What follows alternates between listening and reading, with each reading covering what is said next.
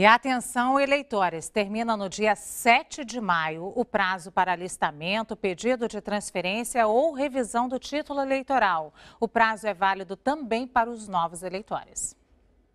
O prazo segue o calendário estabelecido pelo Tribunal Superior Eleitoral. Em 2014, serão eleitos o presidente da República, governadores, senadores, deputados federais e deputados estaduais.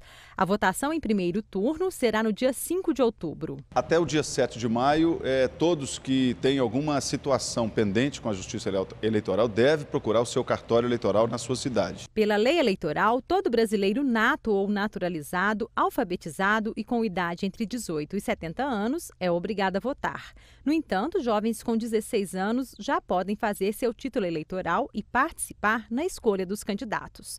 Aqueles que forem completar 16 até a data da eleição também devem fazer o cadastro até 7 de maio. Através do nosso voto que a gente vai vai saber se a gente vai ter um futuro ou não. Eu não tenho nenhum participante, tipo, nenhum candidato que me interessa esse ano, então acho que prefiro não votar. Todo mundo pensa que a gente não faz, nem o voto da pessoa não faz a diferença, né, nosso voto, mas eu acho que faz, aí eu vou pensar um pouco. A Justiça Eleitoral entende que é dever dela também promover e dar condições para que o jovem se envolva, participe e se eduque politicamente para a democracia. É um direito de todos nós de pelo menos tentar melhorar de alguma forma a sociedade que a gente vive.